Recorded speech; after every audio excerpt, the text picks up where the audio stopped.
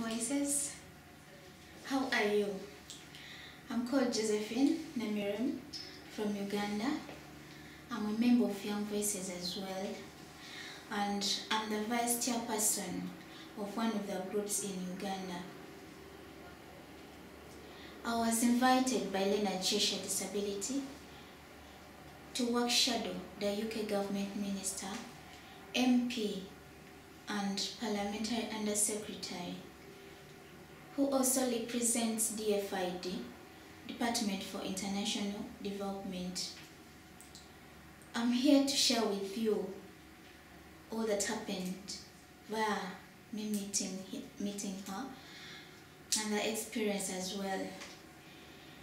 Well, it all started with a CD recording, her speech.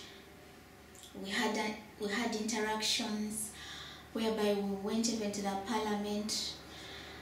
I viewed her giving presentation while at the parliament. We had a private chat.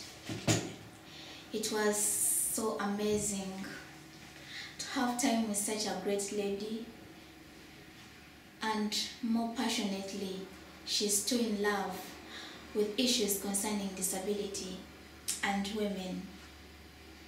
I'm so grateful to inform you young voices that we talked a lot about disability and she's having a trip to Uganda, especially on Monday, where she'll hear more about disability.